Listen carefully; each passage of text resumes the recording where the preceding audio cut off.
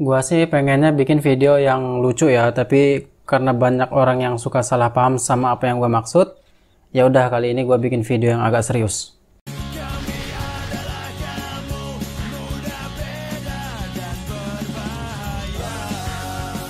Uh, gold medalnya masih kurang dua ya biar penonton gak kecewa gua hajar dah ini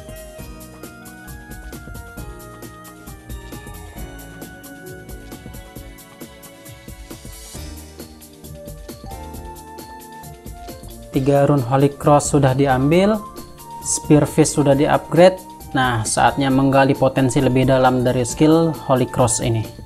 Untuk statusnya dex 30 STR dan intel sama rata. Skill utamanya holy cross level 20 spear mastery level 15 cavalry combat level 5 cavalry mastery level 5 autoguard 10 reflex shield 10 retribution 10 dan Providence 10 untuk equipnya kurang lebih ini yang gua pakai uh, gua bakal nge-enchant spearfishnya sebentar. Dan oke okay, let's go berburu demon. Gua bersihin dulu kage bunsinnya. Oke. Okay. ya zing zing. Widih 150k kalau Dark Illusion yang nggak digangguin nggak dibikin tele nggak makan waktu yang lama sih untuk nyoloin Dark Illusion ini oke lumayan dapat Rose Quartz. Kalau tadi kan Dark Illusion itu elemen undead ya jadi ketemu elemen Holy dari Holy Cross ini cocok damage-nya.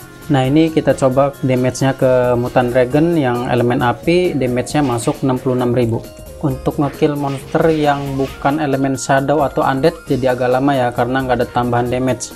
Oke nggak dapat apa-apa kita tes damage-nya ke datar. Datar ini MVP elemennya shadow ya. Damage-nya 84k ini mungkin karena dia defense-nya lebih tinggi daripada dark illusion ya. Jadi damage-nya nggak setinggi dark illusion tadi.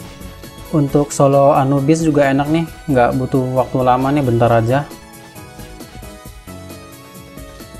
Sekarang kita coba Holy Cross ke Mistletoe Mistletoe ini elemen shadow restnya formless kebetulan gue punya Peko-Peko card jadi ada tambahan 15% damage.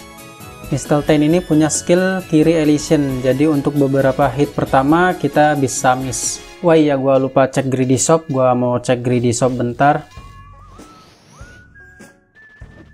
Uh, time twister lumayan untuk balikin modal gold medalnya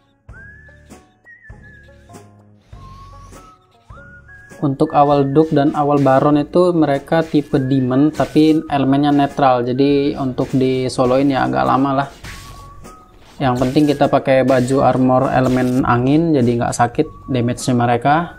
Walaupun nggak dipakein Minoros Cut damage-nya udah lumayan lah ya untuk main-main ke Dark Illusion, Drake atau monster-monster Shadow, Undead lainnya